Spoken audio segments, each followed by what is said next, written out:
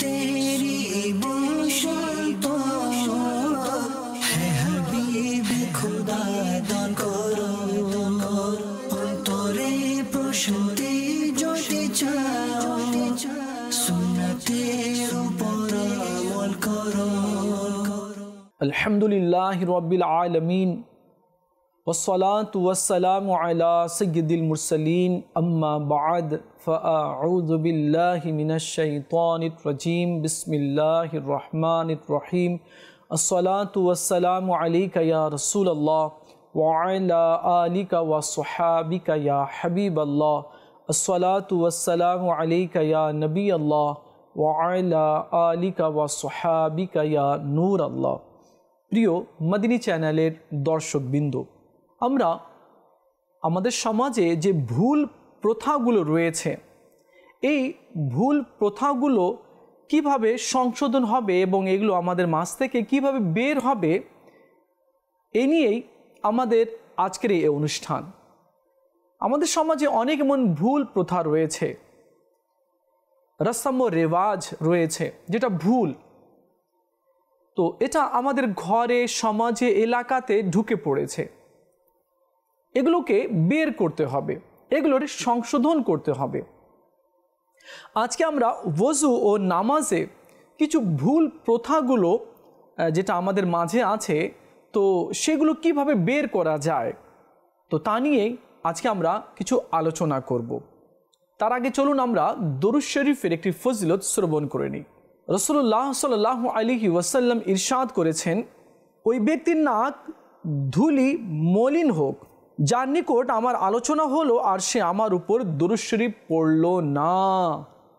তো যখনই আমরা আমাদের নবী সাল্লাহ আলিহি ওসাল্লামের নাম শুনব, তো আমরা একবার মোহাব্বত সহকারে দরুদ শরীফ পাঠ করে নেব। সাল্লাহ আলিহি ওসাল্লাম এভাবে বললেও দর্শি পড়া হয়ে যাবে। সল্লু আলাল হাবিব সাল্লাহ তালা আলা মোহাম্মদ সাল্লাহ আলিহি ওসাল্লাম আমাদের সমাজের মধ্যে কিছু ভুল প্রথা এমন রয়েছে। অনেকে মনে করে আমি ওজু করেছি আর আমার হাঁটু থেকে লুঙ্গি হোক বা পায়জামা হোক বা প্যান্ট হোক উপরে চলে এসেছে। তো এখন আমার ওজু হয়তো ভেঙে গিয়েছে। না। কারও যদি হাঁটু পর্যন্ত কাপড় উঠে যায়, এমনি তো হাঁটু পর্যন্ত ওঠা ঠিক নয়। কেননা, সতরে অরত মানে যতটুকু ঢাকা ফরস আছে, ততটুকু তো ঢেকে রাখতে হবে। কোনো ক্রমে, ভুল ক্রমে যদি হাঁটু পর্যন্ত কাপড় উঠে যায়, তো ওজু ভাঙবে না। আমাদের গ্রামের মধ্যে দেখা যায়, অনেক সময় অনেকে লুঙ্গি পরে, খেতে খামারে কাজ করে, তো লুঙ্গি কাঁচা দেয়। হ্যাঁ তো এতে দেখা যায় কি হাঁটু খুলে যায় না, রান পর্যন্ত দেখা যায়। তো এভাবে খুলে রাখাটা হারাম আছে। তো কেউ যদি এভাবে করে তার দিকে যদি দৃষ্টিপাত দেয়, অন্য নিয়তে যদি দৃষ্টিপাত দেয়, তো সেও গুণাগার হবে। অনেক সময় দেখা যায় ছেলেরা মাঠে খেলা করে, বড় হয়ে গিয়েছে, খেলা করে। তো তারাও হাফ প্যান্ট পরে থাকে আর এভাবে খেলে, নিজের হাঁটু পর্যন্ত কাপড় উঠা থাকে, রান দেখা যায়। তো এটাও কিন্তু গুণা রয়েছে। কেননা ফরজ ত্যাগ হচ্ছে, আর এটাও গুণা আছে। তো আমাদের উচিত হবে যাতে করে আমরা এমনটি না করি। খেতে খামারও যদি কাজ করতে হয়, তো লুঙ্গি যাতে হাঁটুর নিচেই থাকে। অনেক সময় পানিতে নামে অনেকেই। মাছ ধরার জন্য জাল ফেলে, তো বা গরুকে গোসল করানোর জন্য নামে, তো লুঙ্গি কাজ মেরে দেয় না, তো হাঁটু পর্যন্ত উঠে যায়। এমন করা কিন্তু ঠিক নয়। এটা ফরজ ত্যাগ হচ্ছে, আর যদি ইচ্ছাকৃতভাবে যদি করেন তাহলে গুণাগার হবেন। আল্লাহ তালা আমাদের সবাইকে বোঝার তফিক দান করুক। তো যে কথা বলছিলাম, কেউ যদি ওজু অবস্থায় থাকে আর তার লুঙ্গি বা প্যান্ট যদি রান পর্যন্ত বা হাঁটু পর্যন্ত উঠে যায়, তো তার ওজু ভাঙবে না। অনেক সময় দেখা যায় অনেকে ওজু করে ওজু করার পরে নাস্তা করল, খাবার খেয়ে নিল, তো সে মনে করে কি আমার ওজু ভেঙে গিয়েছে, আমি তো খাবার খেয়েছি এখন আমাকে কি করতে হবে? ওজু করতে হবে। তো খাবার খেলে, নাস্তা খাইলে বা চা কেউ যদি খেয়ে নেয় বা পানও যদি কেউ খেয়ে নেয়, তো ওজু ভাঙবে না। হ্যাঁ যদি নামাজের প্রয়োজন হয় তো সে কুলি করে নিতে পারে। তো এগুলো কিছু ভুল প্রথাও রয়েছে। দেখুন আরও কিছু বিষয় রয়েছে যেমন ইঞ্জেকশন কেউ নিল, সুই নিল ইঞ্জেকশন নিল কেউ। তো গোস্তের মধ্যে ইঞ্জেকশন দেওয়ার পর যদি প্রবাহিত হওয়ার মতো রক্ত বের হয়, তাহলে ওজু ভঙ্গ হয়ে যাবে। আমি সুই নিয়েছি, আর সিরিজের মধ্যে রক্ত চলে এসেছে বা রক্ত এভাবে গড়িয়ে এক ফোঁটা পড়ে গেছে, তাহলে কি হবে? ওজু ভেঙে যাবে। আর যদি রক্ত যদি না বের হয় গড়িয়ে যাবার মতো যদি না হয়, তাহলে ওজু ভাঙবে না। কিন্তু গোস্তের মধ্যে ইঞ্জেকশন দেওয়ার পর যদি মানে প্রবাহিত হবার মতো। গড়িয়ে যদি পড়ে গেল, তখন কি হবে? ওজু ভঙ্গ হয়ে যাবে। শিরায় ইঞ্জেকশন দিয়ে প্রথমে উপরের দিকে যে রক্ত টানা হয়, তা যেহেতু প্রবাহিত হওয়ার মতো, তাই তা দ্বারা ওজু ভেঙে যায়। অনেক সময় দেখা যায় কি রগের দিচ্ছে, তো এভাবে ইঞ্জেকশন দিয়ে এবং টানা হয়, তো সিনিজের মধ্যে রক্ত চলে আসে। তো এটা রক্ত চলে আসলো, তো সেটা তো প্রবাহিত হবার মতো আছে। তো এই ক্ষেত্রে কি হবে? ওজু ভেঙে যাবে। গ্লুকোজ ইত্যাদি ড্রপ স্যালাইন লাগালে ওজু ভঙ্গ হয়ে যাবে। কেননা এতে প্রবাহিত হবার মতো রক্ত নলিতে এসে যায়। আর যদি প্রবাহিত হবার মতো রক্ত নলিতে না আসে, তাহলে ওজু ভঙ্গ হবে না। আচ্ছা এখানে অনেক সময় দেখা যায় যে দাঁত থেকে রক্ত বের হয়। আমি ওজু করেছি, কিন্তু হঠাৎ করে দেখা যাচ্ছে আমি ব্রাশ করলাম অথবা আমি মিসওয়া করলাম, তো আমার কি হলো? রক্ত বেরিয়ে আসলো। তো যদি রক্ত থুতুর সাথে যদি মিলে যায়, মিশে যায়, রক্তের পরিমাণটা যদি থুতুর চেয়ে যদি বেশি হয়, লাল হয়ে গেল, তাহলে তো ওজু ভেঙে গেল। তো এদিকেও খেয়াল রাখতে হবে। অনেকে দেখা যায় কি দাঁত খিলাল করে খাবার পরে দাঁত খিলাল করে, ওজু আছে, দাঁত খিলাল করল, কিন্তু রক্ত বেরিয়ে আসলো। এবং রক্ত যদি থুতুর চেয়েও যদি বেশি হয়, তাহলে কি হবে? ওজু ভেঙে যাবে। পরীক্ষা করানোর জন্য সিরিঞ্জের মাধ্যমে যে রক্ত বের করা হয়, তা দ্বারা ওজু ভঙ্গ হয়ে যাবে। কারণ এতে প্রবাহিত হবার মতো রক্ত বের হয়ে থাকে। আর এই রক্ত প্রসাবের মতো নাপাকো তাই এরূপ রক্ত ভর্তি শিশি পকেটে নিয়ে নামাজ পড়া উচিত নয়। চোখের অসুখের কারণে চক্ষু হতে যে অশ্রু প্রবাহিত হয়, তা নাপাক, আর এরূপ অশ্রু দ্বারা ওজু ভঙ্গ হয়ে যাবে। অনেকেই চোখের কি হয়, অসুখ হয়ে যায়, রোগ হয়ে যায়, তো চোখ থেকে পানি বের হয়। তো এতে কি হবে? এমনি কেউ যদি কান্না করছে বা একটু দুঃখ আসলো, তো এক্ষেত্রে নয়। কিন্তু রোগের কারণে, খুব কঠিন রোগ হয়ে গিয়েছে চোখে। এ কারণে যদি চোখ থেকে যদি পানি বের হয় তাহলে এ দ্বারা ওজু ভঙ্গ হয়ে যাবে। আফসোস, অধিকাংশ লোক এ মশালা সম্পর্কে অবগত না হওয়ার কারণে রুগ্ন চক্ষু হতে যে অশ্রু প্রবাহিত হয়, তাকে সাধারণ অশ্রুর মতো মনে করে আস্তিনে বা জামার আঁচলে ইত্যাদি দ্বারা মুছে কাপড় নাপাক করে ফেলে। তাই এক্ষেত্রে সতর্কতা অবলম্বন করা উচিত রয়েছে। পানি পড়ছে পানি পড়ছে, আস্তিন আছে, এভাবে মুছে নিল। নামাজেই আছে। বা আবার পানি পড়লে এভাবে মুছে নিল রোগের কারণে। তো এতে তো বজু ভেঙে যাবে আর নামাজও হবে না। তো এক্ষেত্রে সতর্ক থাকতে হবে, জেনে নিতে হবে। অন্ধ ব্যক্তির চোখ হতে রোগের কারণে যে পানি বের হয় তা নাপাক এবং তা দ্বারা ওজুও ভেঙে যাবে। অন্ধ ব্যক্তি আছে, এমনি চোখ চোখ তো নেই, অন্ধ আছে। কিন্তু কোনো রোগ নেই মানে পানি বের হচ্ছে না, তবে তো ঠিক আছে। কিন্তু পানি বের হচ্ছে। তাহলে কি হবে? ওজু ভেঙে যাবে। অনেক সময় দেখা যায় কি মানুষ আপেল খায় বা পেয়ারা, কামড় দিল। তো দেখা যায় কি রক্ত বেরিয়ে আসলো, যখন চাবায় তো রক্ত একটু বেশি থাকে। তো যদি প্রবাহিত হবার মতো যদি রক্ত হয়ে যায়, তাহলে তো ওজু ভেঙে যাবে। এদিকে আমাদেরকে খেয়াল রাখতে হবে। তো ওজু ও নামাজে কিছু ভুল প্রথাগুলো আমাদের মাঝে রয়েছে। অনেকে দেখা যায় কি নামাজ পড়ে। তো নামাজ পড়ে, তো মসজিদে যায় তাকবীরে তাহরিমা, যে নামাজ শুরু করল তাকবীরে তেহরিমার মাধ্যমে, তো অনেকে দেখা যায় হাত এভাবে উঠায়। মাথা নত করে দুইটা হাত কানে এইভাবে রেখে এইভাবে এইভাবে রাখতেন। এটা ভুল প্রথা রয়েছে। আমরা দুই হাতের তালু এভাবে কিবলার দিকে করে আমরা তাকবীরে তেহরিমা বলে নাফের নিচে আমরা কি করব? হাত বেঁধে নিব। তো আমাদের কিছু মুরব্বীরাও রয়েছে ভুল হয়ে থাকে, তো আমরা শেখার চেষ্টা করব। দাওয়াত ইসলামীর পক্ষ থেকে নামাজ কোর্স হয়ে থাকে সাত দিনের। তো গতবারে রাজশাহীতেও হয়েছিল, ঢাকাতেও হয়েছে রংপুরেও হয়েছে, চিটাগংয়েও হচ্ছে।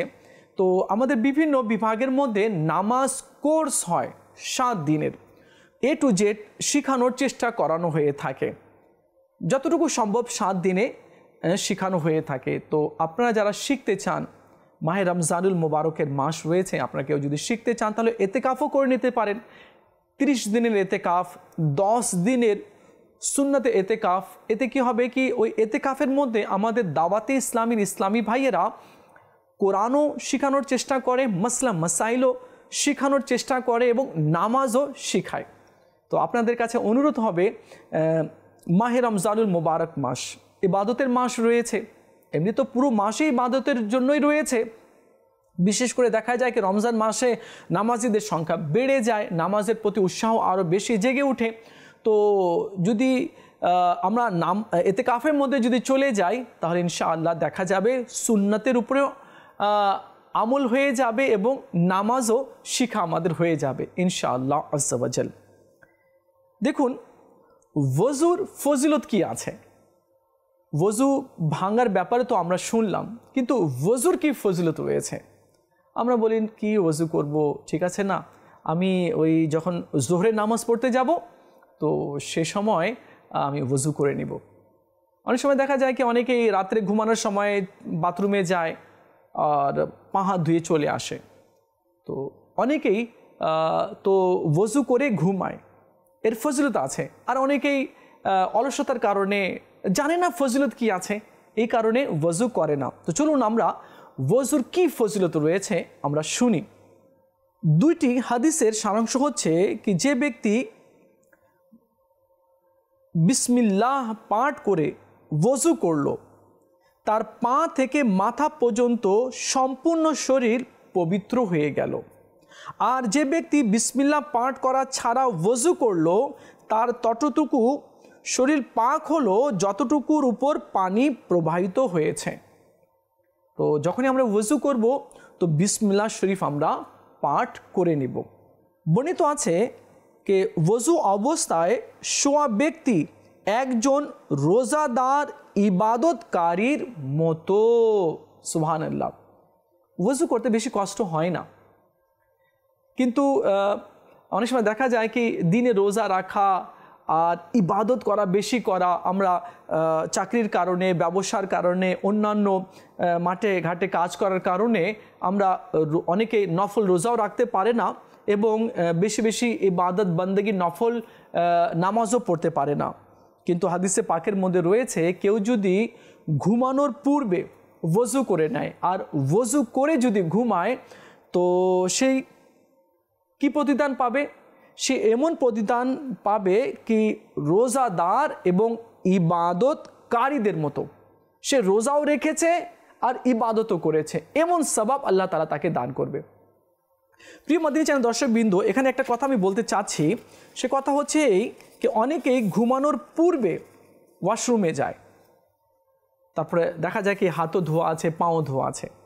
তো যদি আমরা শুধু আহ, নিয়ত করে নিই কুলি করি নাকে পানি দিই মুখ ধুই হাত ধুই মশা করে নিই পা তো এমনিতেও আমাদেরকে ধুতে হয়। যদি পা ধুয়ে নিই ওজু যদি আমরা করে নিই তাহলে কি হবে? ইবাদতের সবাব আল্লাহ তালা আমাদেরকে দান করবে।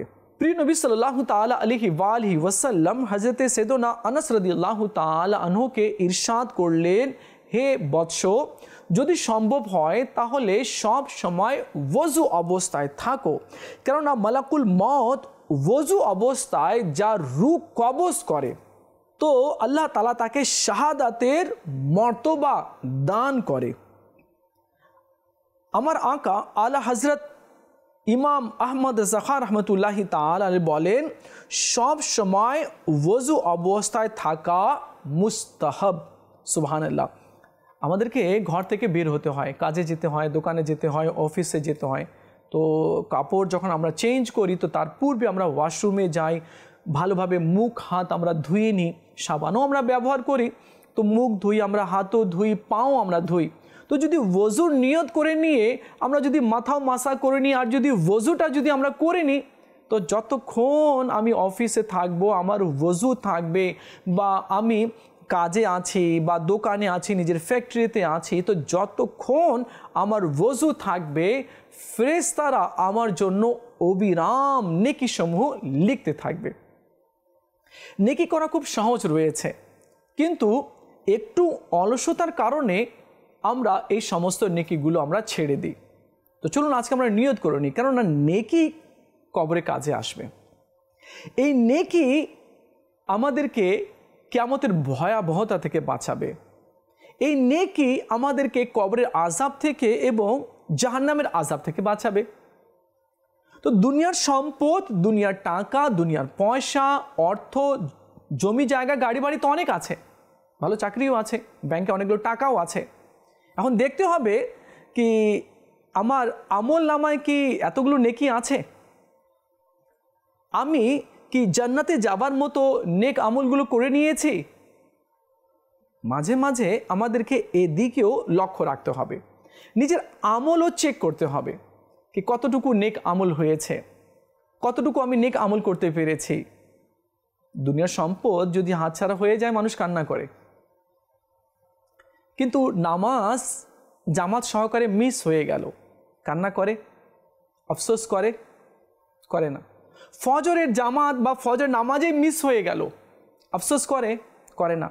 কিন্তু জমিটা বেশি দামে বিক্রি হয়নি লস হয়েছে।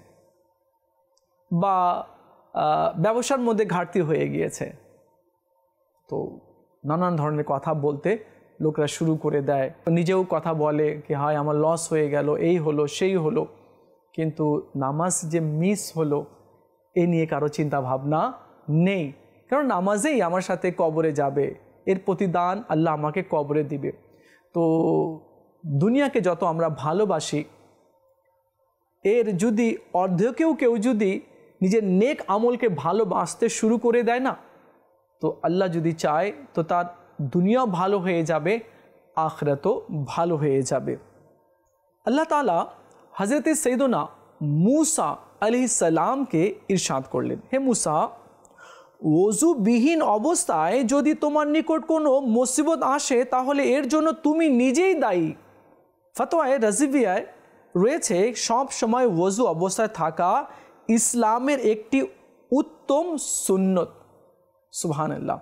তো আসুন আমরা নিয়ত করে নিই কি এখন থেকে আমরা সব সময় ওজু অবস্থায় থাকব ইনশাআল্লাহ। আর হ্যাঁ আপনাকে আরও ষাটটি ফজিলত শুনিয়ে দিচ্ছি।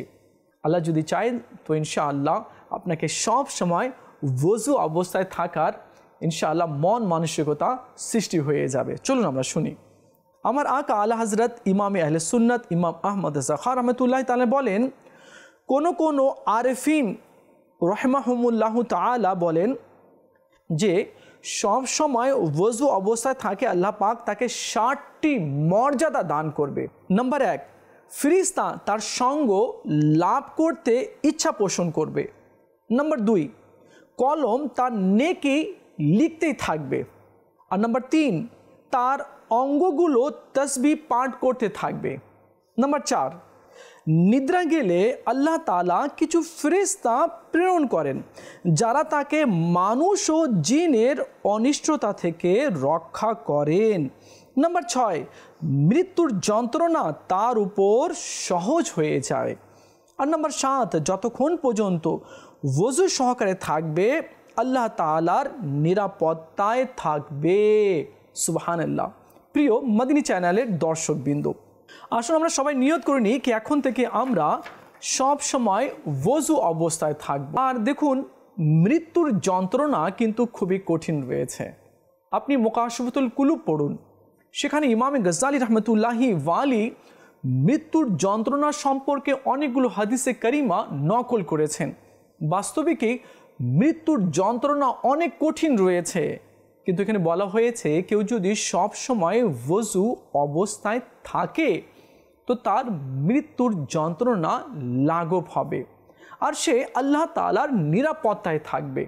কারা? তারা যারা সব সময় ওজু অবস্থায় থাকে। দুই রেখাত নামাজ পড়াতে সকল সগিরা গুনাহের ক্ষমা হয়ে যায়। চলুন নামাজের ব্যাপারেও আমরা দুটি হাদিসে কারিমা শুনি। হজরতে জায়দ বিন খালিদ রাদি আল্লাহ তালাহ থেকে বর্ণিত হয়েছে। আমাদের নবী সাল্লাহ তালা আলহি ওয়ালহি ওয়াসাল্লাম ইরশাদ করেন যে ব্যক্তি দুই রাকাত নামাজ পড়ে, আর তাতে কোনো ভুল করে না। তবে পূর্বে যা সগিরা গুণা হয়েছে, আল্লাহ তালা তা ক্ষমা করে দিবে। সুবহান আল্লাহ দ্বিতীয় হাদিস চলুন আমরা শুনি। হজরতে আবু আয়ুব আনসারি রদিউল্লাহ তালানো মিসবানি রসুল সুবহান আল্লাহ তিনি বর্ণনা করেন কি রসুল পাক সাল্লাহ আলী ওয়াসাল্লাম ইরশাদ করেন, যে ব্যক্তি যেভাবে ওজু করার হুকুম ছিল, সেভাবে ওজু করল এবং যেভাবে নামাজ পড়ার হুকুম ছিল, সেভাবে নামাজ পড়ল, তবে যা পূর্বে করেছিল তা ক্ষমা হয়ে যাবে, সুবহানাল্লাহ। তো নামাজ এমন একটি ইবাদত আছে যে ইবাদতে আল্লাহ তালার নৈকট্য অর্জন করা হয়ে থাকে। কিন্তু আজ অনেকেই আছে নামাজের দিকে যায় না। পাঁচবার মজিন ডাকে, নামাজের দিকে আহ্বান করে, রিমাইন্ড করায়, স্মরণ করিয়ে দেয়। কিন্তু আমি নিজের অফিস নিয়ে নিজের কারখানা, নিজের ব্যবসা, নিজের ক্ষেত খামার, নিজের দোকান, নিজের হোটেল নিয়ে ব্যস্ত। আমরা মসজিদের দিকে যাচ্ছি না। একটু চিন্তা করি না, এই যে এত ব্যস্ততা, এত কারবার নিয়ে টেনশন, এত চাকরি নিয়ে, এত কারখানা নিয়ে, এত প্রপার্টি নিয়ে, এত জমি জায়গা নিয়ে টেনশন, আর তার পিছনে কত টাইম আমরা সার্ভ করছি, কত টাইম আমরা দিচ্ছি, তা নিয়ে কত আমরা টেনশন করছি। আচ্ছা বলুন তো, এই সমস্ত ব্যস্ততা আমাকে কি মত থেকে বাঁচাতে পারবে? মৃত্যু থেকে কি রক্ষা করতে পারবে? এটা আমরা সবাই জানি। টাকা দিয়ে ভালো ডাক্তার আনা যায়। টাকা দিয়ে ওষুধ কিনা যায়। কিন্তু টাকা দিয়ে আরোগ্য শিফা কিনা যায় না। টাকা দিয়ে মদ থেকেও বাঁচা যায় না। তো টাকাই সব কিছু না মেন হচ্ছে আমল। এই আমলই আমাদেরকে জান্নাতে নিয়ে যাবে। টাকা পয়সা রেখে গেলে এই টাকা পয়সা আমাদেরকে জান্নাতে নিয়ে যাবে না। এর হিসেব কিন্তু আমাকে দিতে হবে। ছেলে, মেয়ে আত্মীয় স্বজনরা আমার ধন, সম্পদ প্রপার্টি এই, সেই, তারা তো ভাগ করে নিল। কিন্তু আমি কীভাবে অর্জন করেছি? জায়েজ পথে না হারাম পথে? কি করেছি? কীভাবে অর্জন করেছি? এর হিসেব ঠিকই আমাকে পুঙ্খানুপুঙ্খানুভাবে এক এক পয়সার আমাকে হিসাবের দিতে হবে। তো আল্লাহ তালা আমাদের সবাইকে বোঝার তফিক দান করুক। আল্লাহ তালা আমাদের সবাইকে নেক আমল করার তফিক দান করুক। আল্লাহ তালা আমাদের সবাইকে ঠিক সময় জামাত সহকারে আর সঠিকভাবে নামাজ পড়ার আল্লাহ আমাদেরকে তফিক দান করুক। দেখা হবে আগামী পর্বে। আরেকটি বিষয় নিয়ে আলোচনা করব। ততক্ষণ ভালো থাকবেন। মাদিনী চ্যানেলের সঙ্গেই থাকবেন। সাল্লু আল হাবিব সাল্লাহ তালা আলা মুহাম্মদ সাল্লাহ আলহি ওসাল্লাম